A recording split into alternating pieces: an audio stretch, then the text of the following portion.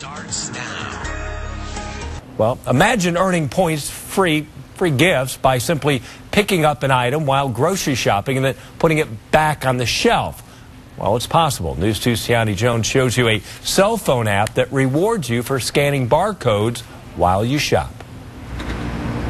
Advertising isn't as easy as it used to be. With commercial free radio and DVRs, companies are turning to your cell phone to get you to try new products. Cell phone apps seem to do just about everything. And a new app called Checkpoints has found the key to our busy commercial free lifestyles. Um, I definitely want to get the best deals, but I probably don't have a ton of time to spend. Checkpoints is an app you use while shopping. They reward you for checking out products by scanning the barcode. You get points every time you scan, even if you don't buy. It's pretty easy. I mean, usually I don't download a million apps, but this one's free, and um, you don't actually have to buy any of the products to scan it. So anytime you're in a drugstore, grocery store, um, you kind of just walk by and scan it. In return, you earn points for things like iTunes and Amazon gift cards. And I think it's great for the consumer. I don't understand. I don't know how the app actually makes money.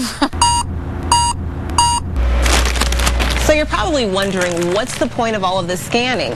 Well, every time you scan, you earn points to get free stuff, but the company is actually getting you to pick up their item and look at it. Puts the brands in your face um, and of things you may not necessarily normally look at or buy. They basically found a new way of direct advertising, but you get paid in return. Instead of fast forwarding through a commercial, you can choose to scan or not to scan. Tiani Jones, News 2.